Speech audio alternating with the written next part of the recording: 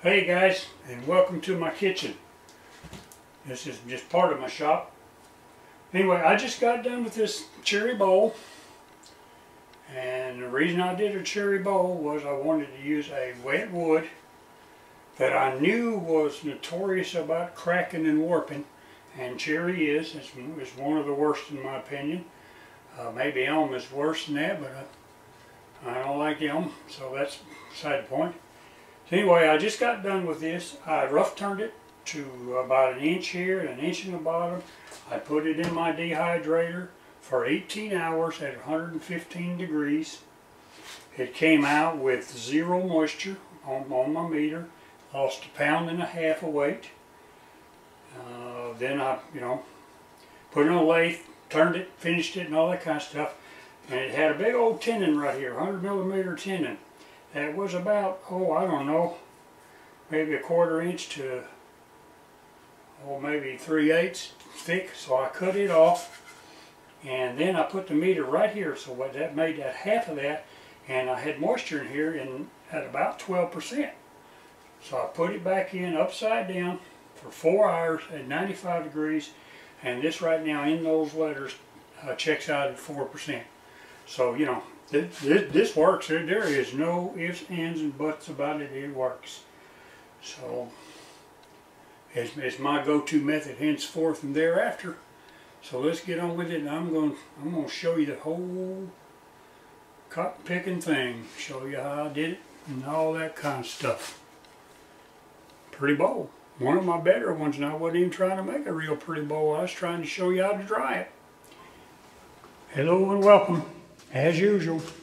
Well, what I got here is a piece of cherry I got out of the backyard. It's been out in the weather. It's uh, been cut a long time, but it's been in the weather, so you know it gets the rain and everything. It uh, looks pretty stable, and the uh, the pith is right here, and it runs through at an angle, and it comes out right here. So if this bowl is going to crack at all, you know later on it's already has some little ones here. It's going to be from the pith.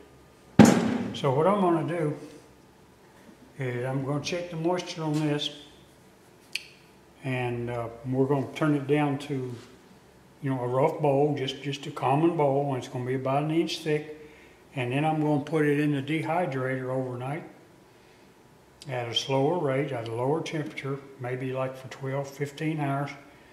And what I'm looking for is to see how much it warps and cracks because uh, cherry, in my experience is notorious about cracking later on. I mean, it just keeps on cracking. So I'm thinking, you know, if we get it dry now and turn and finish turning it, we might be all right. So I've already checked this. I know it is, but I'm going to check it anyway for you guys. So I'm going to come in right in here at the pith.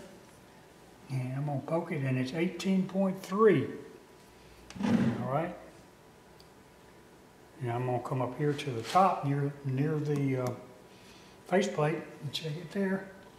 Uh, it's 17.9. And we'll just go ahead and do the bottom for grains. That's some pretty grain right there. That's why I chose that to be the to be the bottom. And what is it going to be? You know, right? 17.9. So, you know, I guess we could say it's 18% all the way around. So we're looking at 18% today.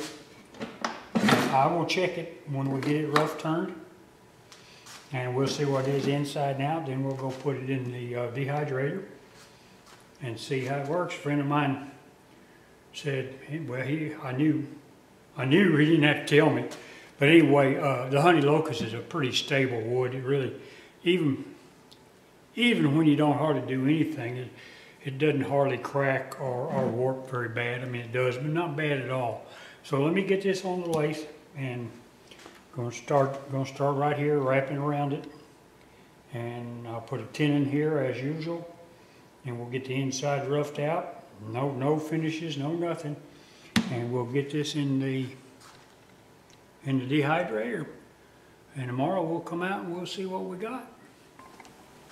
All right I'm gonna start uh, by coming around here just rounding it and then I'll work my way you know, to getting this all around. It's just going to be a plain Jane bowl, nothing fancy. Uh, once I get it rounded, I'll come in here, you know, measure, and we'll put a tenon right here, flip it around, hollow out the inside. That's the plan. So I've got it on here, it's, uh, it does well. Go ahead and whirl it up to about a grand. It's not going nowhere, it's on a faceplate. Of course, I'm gonna start with my beaver.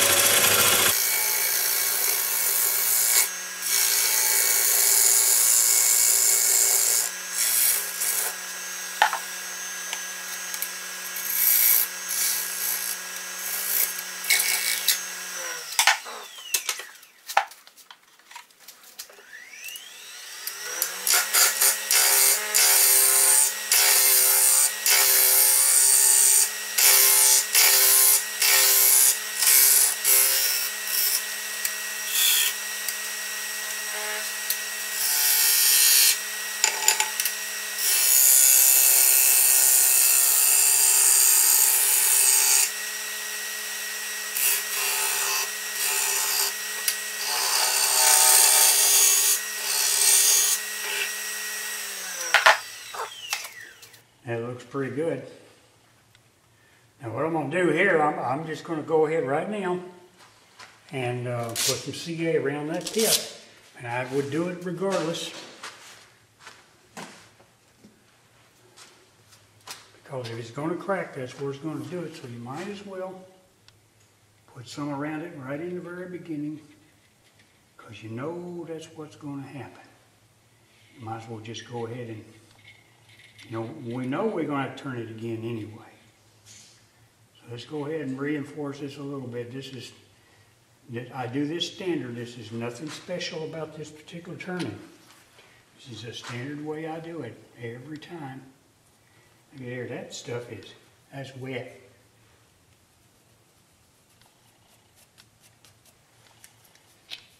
Put a little bit in there. Here we go. And we're gonna do it right here. It doesn't really need it very much there, but I'm gonna do it anyway, just to give it a little bit of, extra. All right, I think we're ready to flip it around and, and get that inside cleaned out. You know, this is pretty wet, so you gotta treat it a little different. I have found a little secret, and I'll show it to you. Sometimes it works and sometimes it don't. What I'm gonna do spray this with a little silicone spray. Okay. I'll whirl this thing up to about three bills. There you go. 296, close enough.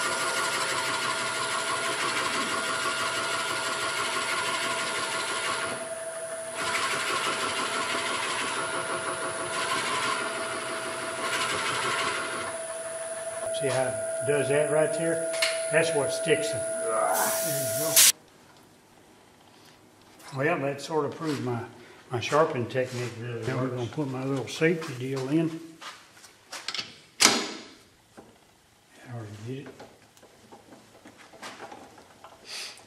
I like to give it a little more room in here. And this is just in case that tenon don't hold. I have no doubt it will, but you know how it goes. I'd rather be safe than sorry. And see if we can't get this rest back over here in place. And we're gonna start off with the beaver and we're gonna use that large round cutter. That's the two tools we'll be using in here. So we're gonna come in here, make sure I'm on the level, and I'm perfect. That's what we're gonna do. All right, my face shield on let's get this rascal done. Turn it a grand. I'm bad about that. I'm not thinking about moving the camera. So you'll have to forgive me a little bit. I just get into my own little world there. All right, I think that'll get it. Let's try it again. Play it again, Sam.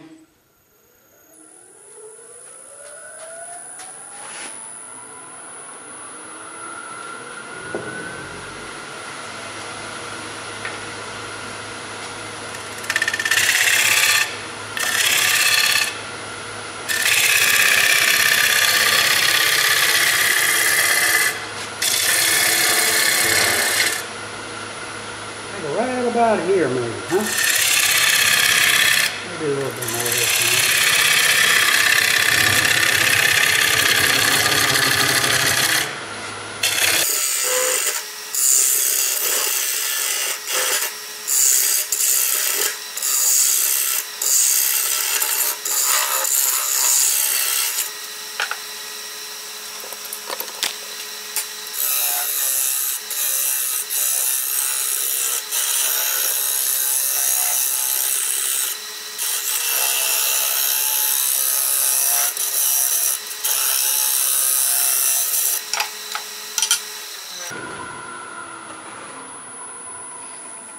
looks like tenon's good.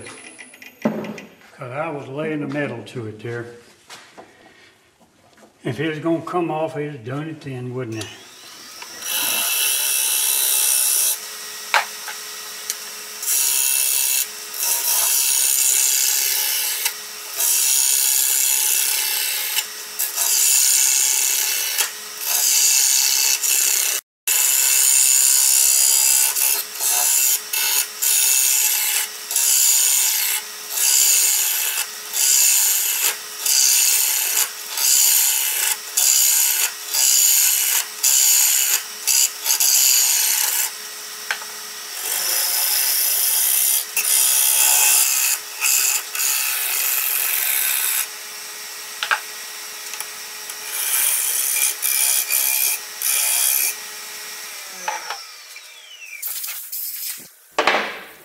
I said I was gonna wait it this time, didn't I? Fourteen four? Seventeen. Try right here, just to make sure we're getting fifteen. All right, here. Turn it over. There you go. Hit it. Fifteen three. Seventeen three. Fifteen to seventeen. I'm gonna get the scales out too here in a second. All right, seventeen inside, fifteen on the outside. Well, I don't know if you can see that or not, but it says three pounds, eighteen ounces. Uh,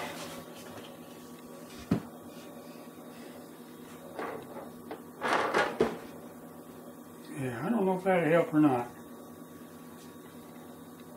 Now, somebody asked about, they didn't think this thing had a fan. This thing has a fan, so it's moving air all the time. It's not, it's not just uh, convection heat, you know. It's moving it all the time. Okay, it'll get it like that, okay. And that might even be more gooder. Whoa, Betsy, that ain't gonna, it ain't gonna stay there. Well, it might stay like that. I tell you what, just to make, we did the other one just like this. Let's do this one the same way. All right, except one thing, I'm going to put this on a different, I do it 18 hours and 18 hours.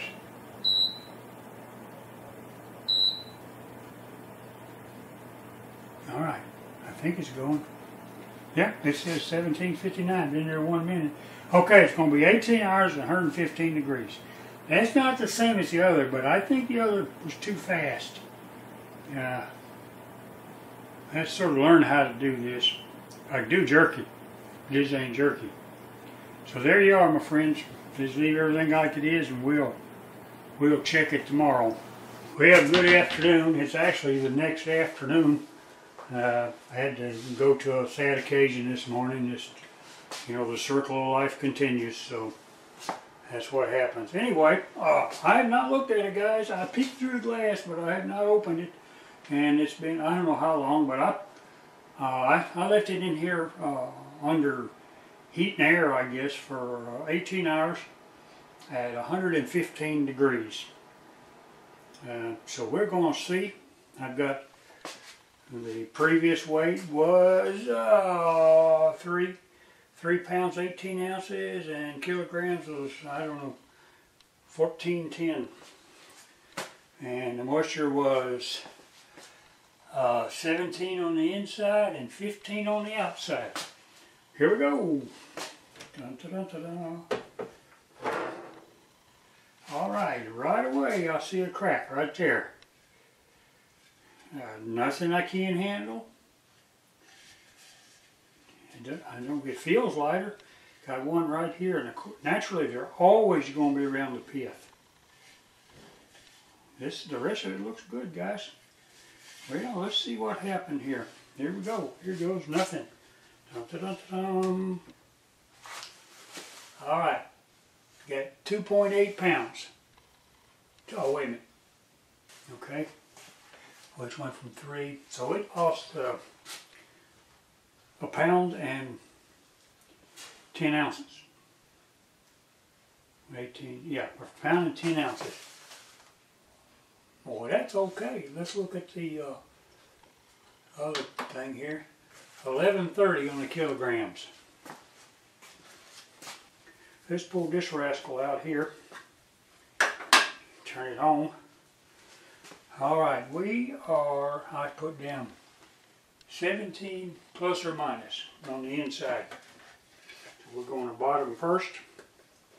Well, man, I don't know here. Ah, I cannot get it to register nothing, guys.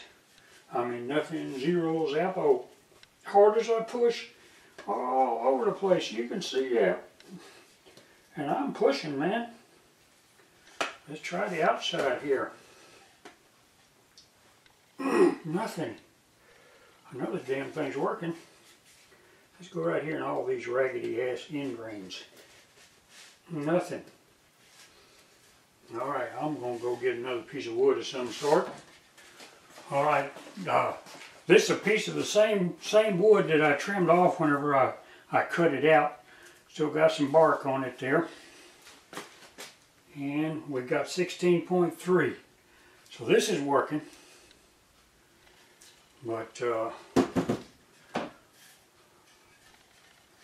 try right in that little softy looking spot. Man, I, I can't get to read anywhere. Can't go much lower because it, it's going to weigh something regardless. All right, we're done.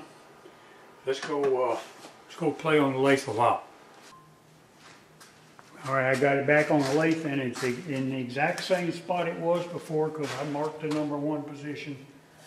And uh, I have not whirled it up. You got my word on that? So this will be the first go right here. Let's check it out. Whoa, it did work, didn't it? Yeah, I almost forgot to video this. I was going to video it for you guys, but I want to show you. I mean, I know most of you don't need to be shown, but you know, we didn't all start out knowing how to do all this. So I got like a long toothpick here. And I just keep the end a little clean. And this, this was right here. Oh, you remember now, this was a real wide crack. And this stuff right here, you know, I call it uh, super fine crack fixer. You see, comes out of my dust collector on the inside of the wall of a cloth, you know, bag that catches it all. And I, I put it in there. Well, first I'll back up. I, I put thin CA in it before I even start fixing. So, you know, I let, so the thin CA get in there where I can't get in there. Then I use this super fine stuff, and then I come here to this thing right here. And after, you know, I've already put some in there, and I'm trying my best to poke it down as far as I can get it. Like that. And I'll add that and get that a little bit more, and I'll put some more fine CA on there. Because if, if you don't, you're basically only gonna see on the top. You just come in here and, you know, rub some more in there. Come in here and do it again. Probably got my hands in the way, didn't I? Sorry about that, I do that all the time. Yeah, I put some more, usually blow off yeah, it blew up in my face. Yeah, I put a little bit more in CA in it. I usually lay it in pretty heavy, because I want it to saturate. And before that sets up, I'm gonna put some more on it right there like that. Okay, that's how I do it. Okay, I'm gonna skip way, way ahead now because uh, most of this video now is just dressing, dressing this bowl up, sanding and putting the finish on, and everybody's seen that a whole bunch of times. So I'm gonna go all the way to taking the tenon off, and there's a little surprise under the tenon I want you to see. So we're gonna move right there in just a second. Same tool. I'll use this one because it gets right in here like that.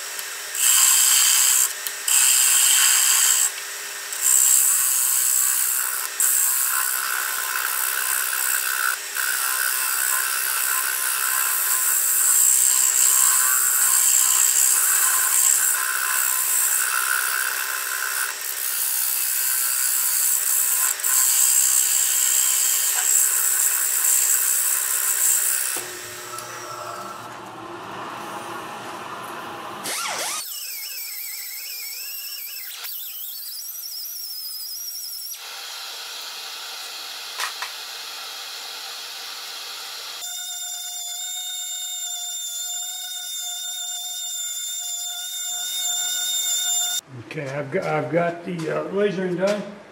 now I'm gonna start uh, putting sealer on the bottom. It'll be a little bit of a rush job. I'm gonna use the heat gun to dry it in between each one because I want to get it back in the dehydrator. What I'm thinking in the dehydrator is, you know, I had the bowl sitting down on this. I'm thinking the airflow doesn't get to the bottom. So I think the next one I do, I'm gonna do it like part of the way sitting this way and part of the way turned over. to See if that does that, because this had uh, a maximum of like twelve percent in there, and that's not acceptable. But that was underneath the tenon, so that was about halfway in the wood.